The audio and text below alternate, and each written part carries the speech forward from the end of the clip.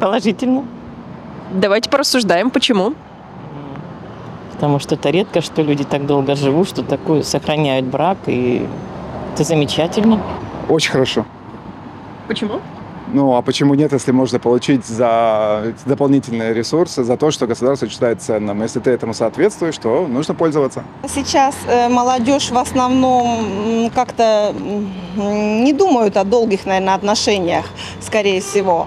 А вот э, маленько бы задумывались, наверное, над тем, что какая-то компенсация За 50 лет брака, а столько живут в браке.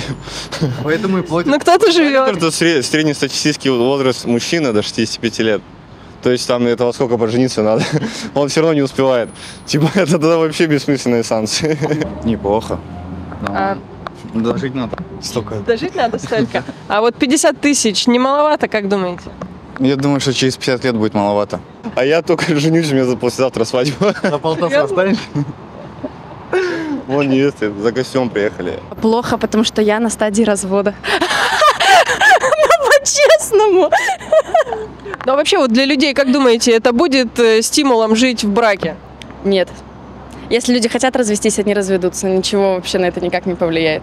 Поэтому я считаю, что здесь надо быть за свободу. Здесь вот здесь надо дружить, а не там. Да, я думаю, что это, наверное, однозначно снизит статистику развода.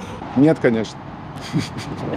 50 тысяч. Я думаю, когда 50 лет брака прошло, то там хотя бы какая-то сумма будет уже хороша в этом возрасте. То есть это, если поженились в 20-25, то это те 75 на 50 тысяч рублей, я думаю, отметить можно.